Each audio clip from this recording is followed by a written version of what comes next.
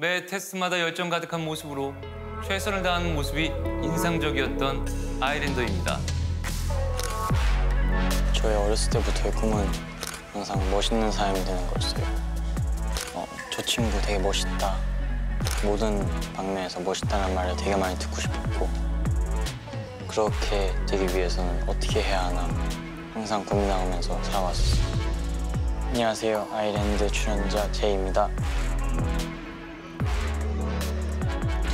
꿈도 없었고 이렇게 많이 힘들었었거든요. 그런 거에 대해서 뭔가 목표도 없고 그런 때 음악을 듣고 아티스트들의 무대 같은 거 보면서 되게 많은 위안도 얻었고 그런 걸 보면서 제 멋있음의 기준이 그때 처음 잡혔었고 그런 멋있는 사람들에게서 배우고 싶었던 것들 다 합쳐놓은 게 이 직업이라고 생각이 들었고 그때부터 꿈을 꾸게 된 것 같아요.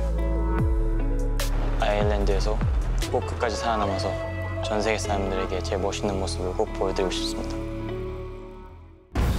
제이 아일랜더는 첫 번째 테스트 이후 그라운드에 갔었지만 데뷔를 향한 강한 의지와 열정으로 자신의 저력을 입증했습니다. 글로벌 투표 결과 네팔, 모로코, 카메룬 등에서 1등을 차지했습니다. 저는 제이 씨 연습생 시절부터 사실 그런 어떤 고집 있는 모습, 줏대 있는 모습이 되게 좋았어요. 2부에서도 이제 그런 것들을 좀 잘 보여줄 수 있었으면 좋겠습니다. 네, 축하드립니다. 네, 감사합니다.